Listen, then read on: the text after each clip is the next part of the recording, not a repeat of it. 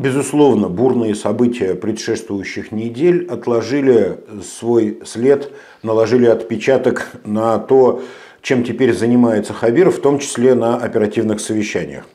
Практически все вступительное слово, которое теперь занимает половину совещания, Хабиров посвятил тому, как он планирует выбираться из той ямы, в которую сам же себя и загнал в связи с событиями в Баймаке.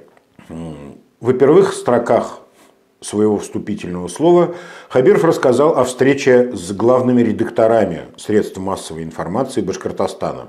Встреча эта случилась в Доме печати, который оказался в свою очередь, в ужасающем техническом состоянии, и в очередной раз э, Хабиров принял решение о реконструкции Дома печати. Ну, впервые об этом э, заговорили и хлопотать еще начал Мурзагулов, тот самый инагент, проклятый на всем э, пространстве православного мира.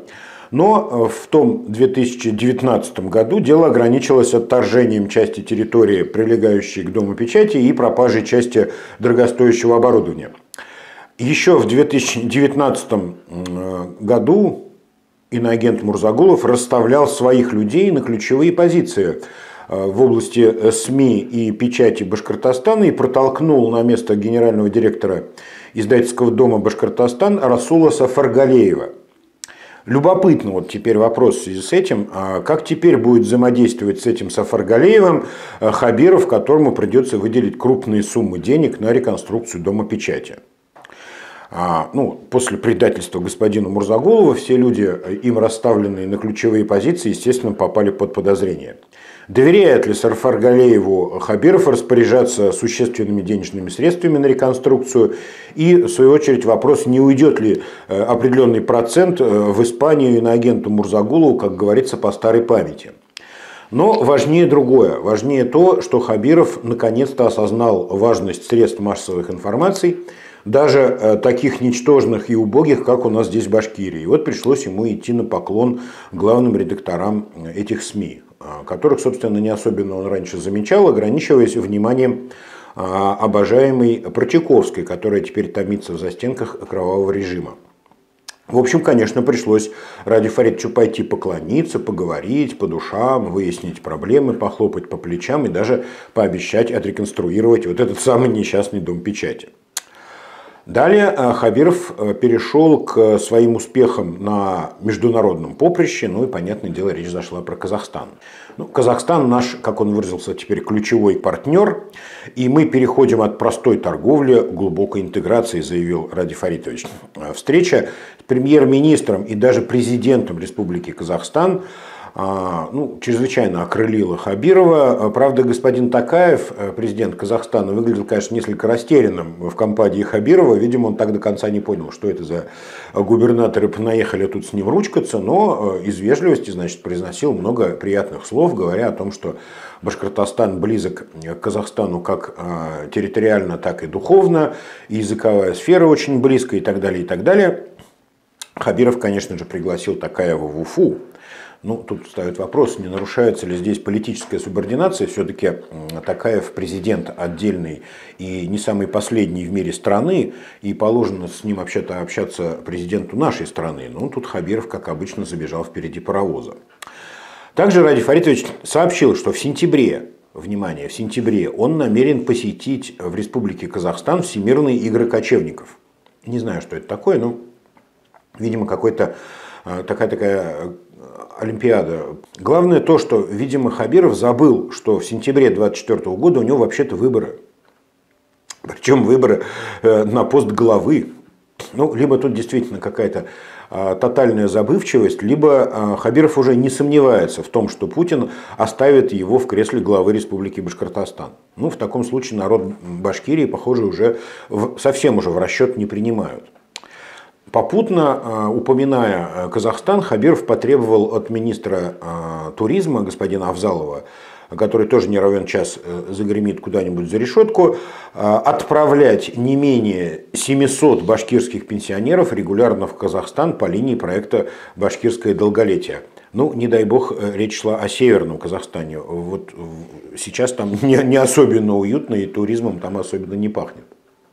Ради Фаритович рассказал нам, что 26 января, прямо перед вот этим вот митингом а, «Последней надежды», он встретился с писательским сообществом.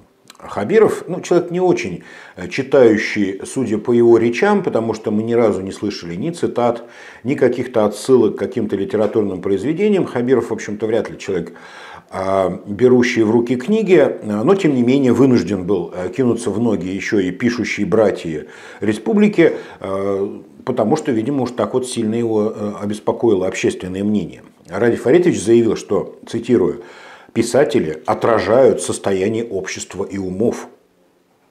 О, как глубокомысленно. А, он был восхищен даже тем, что вот на этой встрече в колонном а, зале Министерства сельского хозяйства а, была даже критика в его адрес. Он прям так с восхищением сказал, вы знаете, меня даже критиковали, ну надо же, какое чудо. Но, как говорится, надо прислушиваться. Они, сказал Хабиров, писатели, очень хотят общаться с людьми. Ну, э, собственно, а кто им не дает общаться с людьми? Непонятно вообще, о чем они там на самом деле говорили. Но дальше Хабиров продолжил, цитируя, «Писатели республики хотят вернуться обратно к системе Союза писателей, ну, видимо, вот этой вот советской системе.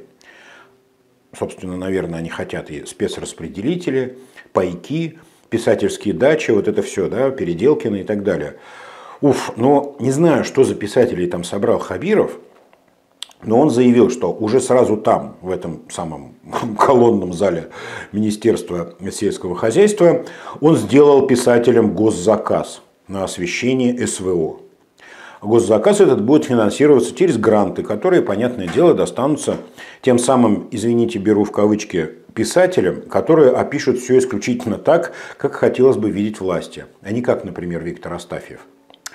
Ну, Тут же выбежала, как говорится, вперед Зухра Буракаева, э, широко известная в узких кругах писательница. И вот на этой встрече заявила, что по ее глубокому убеждению, а писатель, который кормится от груди государства, просто обязан э, вот это самое государство прославлять и писать только приятные вещи для этого государства. Вот такую вот глубокую мысль э, высказала писатель Буракаева. В целом, конечно, понятно э, чувство вот этих оголодавших, мало на что способных людей, но много э, чего э, желающих и много о чем мечтающих, я имею в виду башкирских писателей. Конечно же, на эту встречу не был приглашен Игорь Савельев, которого, ну, я считаю, что это единственный более или менее писатель вообще-то в Башкирии. Но, кстати, о писателях. В тот день, когда Хабиров собрал вот этих самых беру опять слово в кавычки, писателей в колонном зале Министерства сельского хозяйства, а, немалоизвестный писатель иноагент Мурзагулов анонсировал написание своего очередного опуса из серии «Бабай всея Руси». Третья книга Мурзагулова будет целиком и полностью посвящена опыту работы иноагента с Радием Хабировым. Ну, тут уж, как говорится, воистину а, будет бестселлер, невзирая на художественные свойства текста, с которым у Мурзагулова, конечно, большие проблемы. Тем не менее, с нетерпением будем ждать электронную версию а, бытоописания Белого дома и того, что там значит, претерпел Мурзагулов, посмотрим, что получится. Наверное, с большим а, интересом мы почитаем опус Мурзагулова, чем все вот эти писульки Буракаевой. Ну и, конечно же, конечно же, в вступительном слове Хабирова а, было место описанию того, что случилось на митинге «Последней надежды». 26 января Хабиров собрал, согнал, а, свез а, бюджетников на площадь перед телецентром, и там, значит, они продемонстрировали некое единение вокруг главы региона. Описывая то, что случилось на этом митинге, Хабиров сказал, что, первое, единение необходимо демонстрировать. Вот такой у него тезис возник. Ну, в связи с чем есть два вопроса. Кто должен демонстрировать и кому демонстрировать? Безусловно, это единение было адресовано Кремлю, чтобы показать, смотрите, смотрите, как меня все-таки любит народ. Ну, окей. Далее Хабиров сообщил, что работать надо со всеми, в том числе с несогласными. Надо переходить к действиям, заявил Ради Фаритович, встречаться с людьми, Проблем много. Надо рассказывать о том, что мы делаем. Ну, тут, как говорится, вот, вот все время сквозит вопрос, а где вы были пять лет, Ради Фаридович? Э, где было вот это ваше решение проблем, общение с людьми и так далее, и так далее, протягивание вот этих вот дрожащих ручек э, несогласным и так далее, и так далее? Ну где это было пять лет? Вот это, пять лет этого высокомерия, чванства, наглости, хамства, неприкрытого воровства, э, вот того, что вы нам демонстрировали вместе с вашей командой. И вдруг, значит, вы дрожащие ручки тянете к горлу несогласных и просите, значит, с вами единиться, потому что где-то там что-то припекло. Ну, не очень здорово получается. Далее Хабиров сообщил, что важнейшая проблема, оказывается, это экология. И опять, опять, опять, уже в который раз Хабиров заявил о том, что он решил проверить, как же там выдаются эти самые лицензии на разработку полезных ископаемых. А позвольте, Ради Фаридович, вот раньше вы туда Барданова отправили, значит, этими лицензиями ведать, потом Абдрахманова отправили туда лицензиями ведать. Кого еще вот туда отправите лицензиями ведать, чтобы оттуда вам прилетала обратно вот эта вот народная любовь, которую вам продемонстрировали в Баймаке? Ну тут точно вот что-то надо делать э, в этой консерватории, потому что ну, явно там что-то не так. Но Хабиров не унимался. Описывая свои ощущения и результаты этого митинга, он заявил, что в небесах летать больше не нужно. Главам муниципалитетам нужно выйти к людям и начинать их слушать. О как. Ну, и даже умудрился Хабиров подвести некие итоги, хотя после 26 января прошло совсем немного времени. Хабиров заявил, что его призыв созидать вместе нашел отклик э, в душах людей, и люди уже к нему обращаются. Правда, он не сообщил, о чем они обращаются. Э, ну, может быть, пора уже начинать э, строить какие-нибудь центры созидания Башкортостана. Дарю идею, Ради Фаридович. Можно будет освоить 2-3, а то и 5 миллиардиков бюджетных средств, поставите какие-нибудь красивые стеклянные избушки, назовете их там не визит-центрами, а центр созидания Башкортостана. И любой желающий может туда, может туда зайти и как-нибудь виртуально посозидать чего-нибудь вместе с вами. Дальше Хабиров перешел к важным вопросам. Вот прямо там, 26 января, прямо на митинге перед бюджетниками его посетила мысль, что каких-то глубинных национальных проблем в Башкортостане нет. Вот так заявил Хабиров. Но людей волнует сохранение культуры и языков – Дальше Хабиров сообщил, что он в ближайшее время требует встречи с Курултаем Башкир, собором русских, сообществом чувашей, марийцев и даже, как он выразился, удмуртцев. Ну, вот так вот. Удмуртов назвал э, Ради Фаритович. Ну ладно, я надеюсь, что ни удмурты, ни удмуртцы не обиделись на э, главу нашего региона. Но э, похоже, что Хабиров подсознательно начинает понимать, что система взаимодействия с э, обществом, с населением республики была выстроена из рук вон плохо, если она вообще была выстроена. Он начинает понимать, что под руководством вот этих самых верных у него ничего хорошего не получится, потому что то, как была устроена внутренняя политика в республике Башкортостан до сего момента уже дальше не работает. И вот он собирается встречаться с этими Э, союзами русских, э, башкир, нерусских и даже удмурцев. Но Ради Фаридович не понимают, что все эти союзы, все эти курултаи, все вот эти вот э, хуралы и хуралы, они, в общем-то, составлены, уже давно составлены из людей, которые никакого отношения к взаимодействию с национальными сообществами не имеют. Все эти союзы и советы старейшин – и уважаемых людей, это вот так вот получилось, такая уж тут получается генеалогия, что они уже вот давно искусственно создаются из людей э, верных, а взаимодействовать нужно ради Фаридовича уже с другими. Боюсь, что мало что получится из этих вот контактов, ну, кроме э, каких-то информационных поводов. Хабиров встретился с башкирами, Хабиров встретился э, с русскими, с татарами, с удмурцами. Вай-вай-вай. Но на выходе взаимодействия с национальными сообществами не получится. Равно как не получилось у него и взаимодействие с писательским сообществом. Если разговаривать с Зухрой Буракаевой, Это не значит, что разговаривать с писателями Башкортостана. Или если ты сидишь и болтаешь с Шамилем Валеевым за столом, это не значит, что ты понимаешь и взаимодействуешь э, с журналистами Республики Башкортостан и э, со СМИ э, Республики Башкортостан. В общем, тут Хабирова, конечно, ждет неприятная засада, и если он вовремя это не поймет, то, конечно, у него ничего не получится в конечном итоге. Далее, э, продолжая свое бесконечное вступление к оперативному совещанию, если вы не забыли, мы сегодня говорим об этом. Хабиров рассказал о том, что он предпринял очередную попытку оказаться в непосредственной близости от э, тела Владимира Путина. 28 января Хабиров зачем-то ринулся в Санкт-Петербург принимать участие в мемориальных э, мероприятиях, посвященных 80-летию окончательной снятия блокады Ленинграда. Ну, Путин в этом мероприятии принимает участие традиционно ежегодно. Он сам э, питерский, и потому для него это, видимо, имеет какое-то значение. А с Путиным Хабирову, конечно же, э, в Петербурге встретиться не получилось, и приблизиться к нему хоть сколько-нибудь всерьез тоже не вышло, но зато Хабиров там сходил, возложил цветы и рассказывал захлеб, как это важно, значимо и какое впечатление на него произвели все эти э, пискаревские кладбища. Ну, собственно, уже последние месяцы есть целая цепочка попыток э, Хабирова пробиться к Путину. Помните его неудачный вояж в Казахстан, когда он пытался туда на машине аж проехать, чтобы с Путиным пересечься, его вернули по дороге обратно в Уфу. Он э, притворился больным ковидом на один день и потом чудесным образом выздоровел. Э, было еще несколько попыток как-то с Путиным повзаимодействовать. А, была легенда о том, что Путин значит, э, чуть ли не лично будет открывать тут какие-то медицинские учреждения в Уфе. Ничего этого не получилось. И мы все-таки утверждаемся в своем предположении о том, что Хабиров очень э, четко изолирован от контактов э, с главой государства российского. Что это означает, мы узнаем в ближайшее время.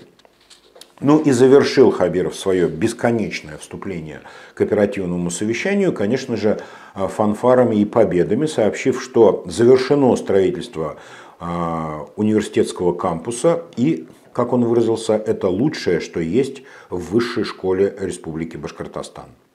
1 или 2 февраля а, он планирует провести торжественное открытие он заявил, что ему не верилось, что он сможет вытянуть вот это все, но был совершен настоящий трудовой подвиг и так далее, и так далее. Кстати говоря, я думаю, что торжественных открытий кампуса будет несколько. А, я думаю, что подвернется случай какому-нибудь федеральному чиновнику вновь и вновь показать этот кампус, вновь и вновь будут щелкать ножницы разрезая вот эти ленточки, и открытий, как у завода Амкадор, у этого кампуса впереди еще много и много.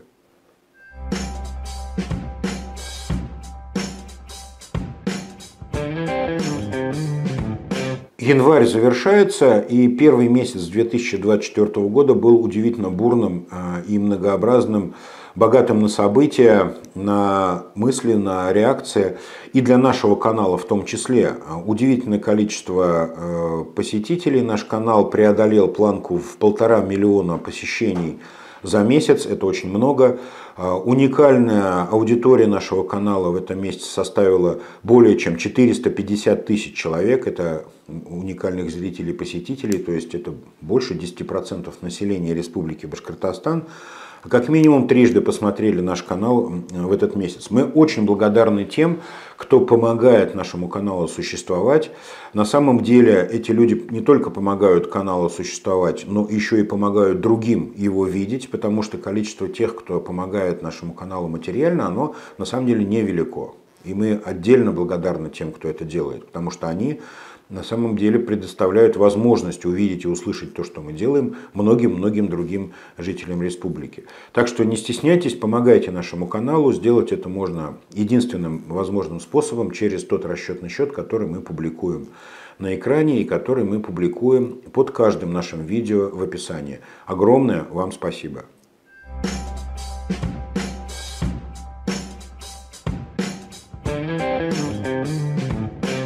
Пришлось перейти к делам житейским, поговорить о ЖКХ, о дорогах. А, Елена Александровна Голованова сообщила, что у нее а, на минувшей неделе случилось три крупных аварии и 34 технических инцидента. Тех самых технических инцидентов, которые теперь э, у нас не аварии, а вот именно вот так они называются. Впрочем, эти технические инциденты охватили аж 107 многоквартирных домов, согласитесь, немало. А Хабиров выслушал Голованову и э, напомнил о том, что э, надвигается на нас февраль. Февраль традиционно снежный месяц. Город заметет, и Хабиров э, сообщил, что Мавлиева ждет тяжелое испытание в виде вот этого снега. Тут, конечно, оговорка по Фрейду. Тяжелое испытание ждет всех нас. Около жилищного комплекса «Аристократ», где проживает Ратмир Мавлиев, и около его места работы на проспекте Октября где расположена мэрия, там очищен снег всегда прекрасно. Никаких испытаний Ратмир Мавлиева э, не ожидают. Ну, разве что он опять пойдет встречаться в лес с оленями и там увязнет э, по шею в снегу. А вот нам, жителям Башкирии, конечно, предстоят тяжелые моменты, потому что, судя по всему, э, дворы чистить никто не собирается, вторичные и второстепенные э, проезды никто чистить не собирается. Дай бог, чтобы чистили проспект Октября и улицу Ленина. Это все, на что способен наш юный мэр. Э, я думаю, что он в этом году побьет рекорды по производительности своих э, снегоплавильных заводов, равно как и побьются рекорды нормы прибыли, которые принесут эти заводы их владельцам. Далее перешли к заслушиванию ситуации на дорогах. Э, Александр Владимирович Колебанов сообщил, что количество ДТП э, в текущем году пока еще не превышает количество ДТП за тот же период 2023 года. Это же можно сказать и о количестве пострадавших, но количество погибших э, превысило прошлогодний показатель. И судя по тому, что ситуация на дороге и на дорогах Башкирии у нас, в общем-то, складывается не по воле Александра Владимировича, а по воле Божьей, соответственно, тут, как говорится, как повезет. И вот пока Александру Владимировичу не везет. На 5 погибших в Башкирии больше, чем за тот же период 2023 э, года. Будем эту ситуацию наблюдать, смотреть. И не будем злорадствовать, но тем не менее я абсолютно четко констатирую, что вот эти все успехи по снижению погибших на дорогах Башкортостана не более чем случайность в прошлом году, но случайности, как известно, это суть закономерности. Соответственно, в этом году может и не повезти.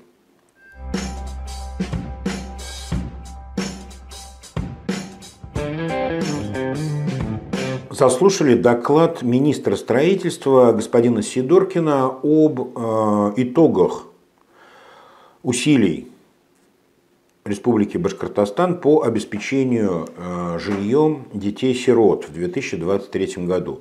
Напомню, что по закону Российской Федерации, и довольно давно уже принятому закону, дети-сироты должны быть обеспечены государством каким-то минимальным жильем по достижении 18-летнего возраста. Ну, так вот гуманно устроен российский э, закон. Сидоркин сообщил, что в Республике Башкортостан на данный момент э, почти 8 тысяч человек имеют право на получение жилья как дети-сироты. То есть э, из этого доклада мы узнали, что в Башкирии у нас официально 8 э, тысяч детей-сирот. Причем 5088 человек это право уже обрели. То есть они достигли 18 э, лет. Судя по уклончивым формулировкам Сидоркина, эти 5088 человек жилья пока не имеют. Они там у него стоят в этой самой очереди. А, не сумев обеспечить а, сирот квартирами в натуральном виде, государство решило теперь делать некие выплаты. Ну, естественно, определив размер этих выплат а, так, что на них почему-то нельзя купить просто жилье. Ну, иначе бы, с другой стороны, зачем бы государству было так делать? Покупали бы и покупали. Вот решили выплачивать это примерно как компенсацию дольщикам. То есть, понятное дело, что дольщики теперь не купят э, по прошествии долгих лет ожидания на эти деньги квартиру. Ну вот вам выплата. То же самое примерно происходит с детьми-сиротами. То есть им теперь решено не давать квартиры, а можно получить деньгами. Это э, речь идет о так называемых жилищных сертификатах. Э, причем выдают их не всем, кто достиг 18 лет, а там еще есть куча всяких условий. Во-первых, должно быть человеку старше, он должен быть старше 23 лет, он должен иметь работу не менее чем уже 6 месяцев подряд, но еще и не состоять на учете в наркодиспансере. Ну, то есть, видимо, чтобы не пропить, не прогулять эти деньги. А, в 2023 году, по словам Владислава Анатольевича, а, в Башкирии вот эти сертификаты удалось всучить только 80 детям-сиротам. И выплата составила около 3 миллионов 200 тысяч рублей. Ну, то есть, по моим подсчетам, э, этой суммы хватает ну, еле-еле на какую-нибудь жилплощадь, там примерно 22-25 квадратных метров, в зависимости от э, месторасположения этого жилья. Всего же, по докладу господина Сидоркина, за 23 год жильем было обеспечено 890 детей-сирот. Ну, то есть примерно 18% нуждающихся и имеющих на это право. А, тем не менее, господин Сидоркин с оптимизмом заявил о том, что разработана некая программа ликвидации задолженности по обеспечению э, детей-сирот жильем, и программа эта будет действовать аж до 2030 года. И э, вот согласно этой программе, в 2030 году э, господин Сидоркин планирует обеспечить жильем 4950 человек. Ну, а оставшиеся 3000, кому положено это жилье, плюс добавьте туда, кто к этому времени за ближайшие 6 лет обретет это право, с ними непонятно, что будет происходить. Но, видимо, э, Сидоркин либо его последователь создадут э, программу ликвидации задолженности по задолженности по задолженности. Ну, в общем, конца края, видимо, э, этому процессу не будет. В 2024 году господин Сидоркин планирует освоить на этой теме 2 миллиарда 670 миллионов рублей, которые выделены на решение проблемы а, жилья для детей-сирот. Это примерно 25 тысяч квадратных метров жилья. Согласитесь, жирный пирог. И распоряжаться покупкой жилья на эти деньги будет господин Сидоркин.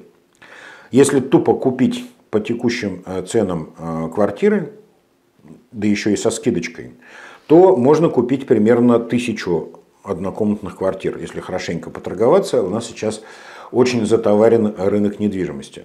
Примерно тысячу однушек можно будет купить на а, вот эти деньги. Ну, учитывая, что, например, в Комертау, в Бельбее, в Стерлитамаке квартиры существенно дешевле, чем в Уфе. Однако господин Сидоркин нам рапортовал о том, что он планирует купить 749 а, помещений для выдачи детям-сиротам. Согласитесь, немножко тревожно.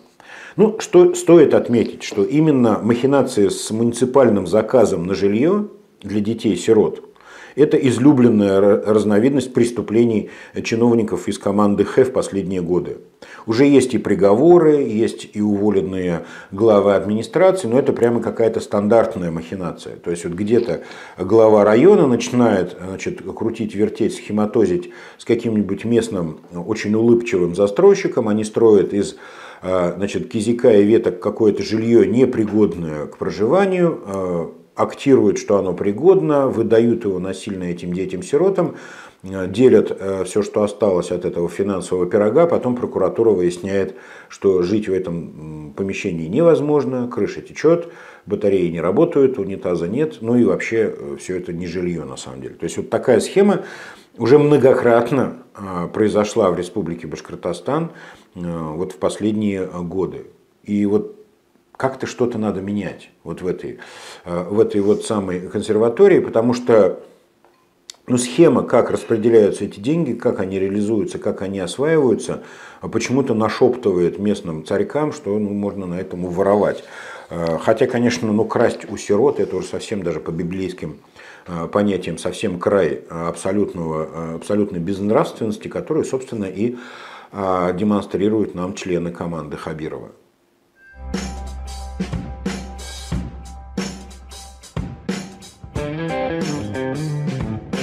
Совещании в минувший понедельник были еще доклады, в том числе был доклад Амины Евгеньевны э, Шафиковой, министра культуры, о том, как она развивает а, культуру в Башкирии, какие замечательные фестивали она тут придумала. Вообще фестивали и всякие форумы – это суть деятельности команды Хабирова. Как мы знаем, я не буду утомлять вас а, вот перечислением того, значит, какие там случились фестивали, но мне, честно говоря, запало в душу один фестиваль, о котором говорила Амина Ивниевна. Это праздник кислого молока который проводится теперь по задумке э, Министерства культуры в Чешминском районе. Ну, вот именно фестиваль кислого молока, пожалуй, может быть символом всей деятельности вот этой вот э, бурной, шумной, многомиллиардной деятельности, которую ведут эти ребята и вся эта команда Х. Э, и то, как творчески, как бурно, буйно и успешно, в кавычках, они э, тратят бюджет республики на вот эти фестивали кислого молока. Не знаю, где предел э, безумию и бессмысленности деятельности, вот, и в частности и Амины Шафиковой, и всех ее соратников, но вот я считаю, что символом вот этого всего безумия, фестивального безумия, можно э, сделать именно э, фестиваль кислого молока. Thank you.